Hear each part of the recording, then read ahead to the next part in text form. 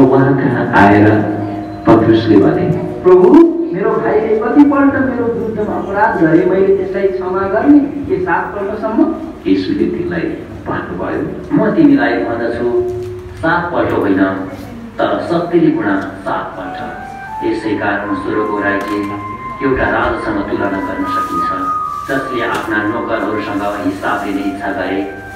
जब तिनले हिसाब लिन लागे दस हजार सुनका दिने एकजना तिनी कहाँ ल्याइयो तर त्यस मानिसले तिर्न नसक्दा त्यसका मालिकले त्यसलाई र त्यसका स्वास्नी र छोराछोरी र त्यसका सबै थोक बेची ऋण चुकाउने हुकुम दिए तब त्यस नोकरले घुँडा टेकी तिनका पाउमा परेर भन्न लाग्यो मालिक म माथि धैर्य गर्नुहोस् म तपाईँको सबै ऋण चुकाउनेछु तब त्यस नोकरका मालिकले टिठ्याएर त्यसलाई छोडिदिए र त्यसको ऋण माथि गरिदिए।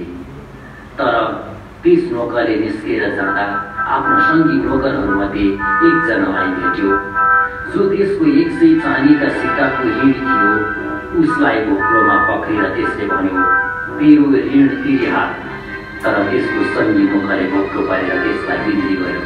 म माथि धैर्य गर। म तिमीलाई सबै तिरिदिनेछु तर त्यो मानेन र गएर ऋण नतिरुन्जेलसम्म उसलाई झ्यालखानमा हालिदियो।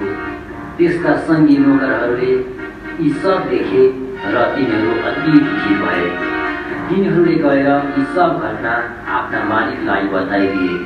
तब मालिकले त्यस नोकरलाई आफू कहाँ बोलाएर भने ए दुष्ट नोकर तैँले मसँग बिन्ती गरिस् र मैले तँलाई तेरो ऋण माथि गरिदिएँ।